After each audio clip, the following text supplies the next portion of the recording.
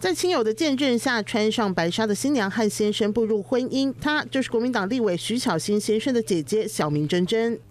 脸书不是吃美食，就是推销自己的公关活动，一场场看起来很专业。先生也放满工作照，夫妻俩很努力工作，却卷入诈骗洗钱案。前同事还曝光他过去职场的黑历史。他曾经跟其他小同事说，就说以我这种智商是怎么工作到现在的。听到之后，我好像就有传讯息问他了，态度应该也是很高傲的，跟我讲说是误会还是什么之类。但是这不是误会啊。有一次交一份简报给他，然后他就跟我说：“难道不知道简报用送题吗？”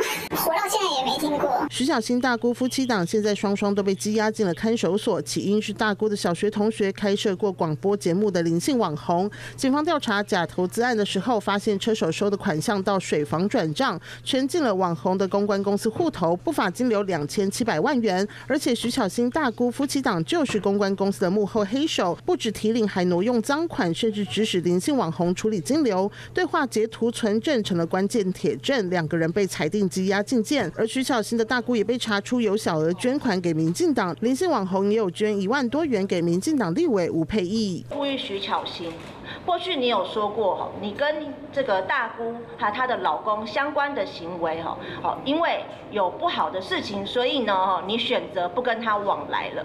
所以是不是代表你过去曾经知道？其实不止政治现金的问题，徐巧芯的大姑当时跟陆姓女子合开公司，也爆出大姑的先生杜姓男子在脸书呛虾，甚至还演变成跟踪恐吓，案件已经进入司法程序。这对夫妻档过往被放大检视，风暴越演越烈。华视新闻创报道。